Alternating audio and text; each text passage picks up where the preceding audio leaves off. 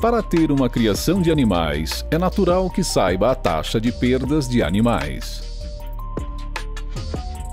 Principalmente os bovinos, que podem morrer de diversas formas.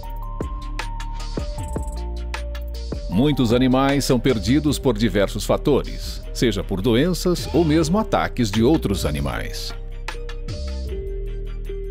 Isso ocorre com maior frequência quando os animais se aproximam de rios.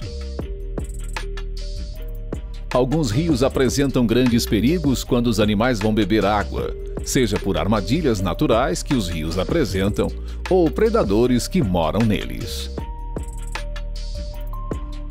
E nesta história, duas vacas tiveram o azar de ficar presa na lama de um rio australiano.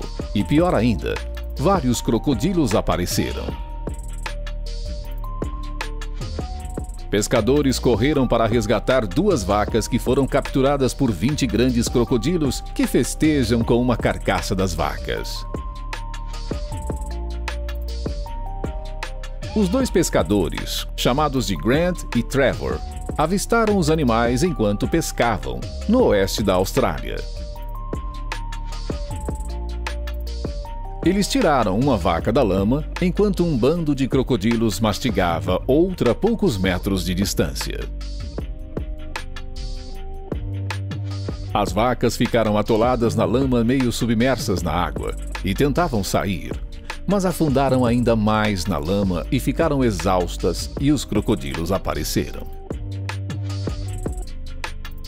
Uma das vacas se soltou da lama enquanto outra ficou presa. Então, os homens lançaram uma corda em seu pescoço e puxaram.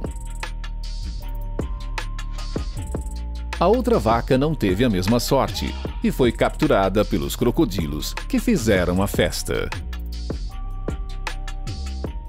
Esse é mais um caso incrível na Austrália.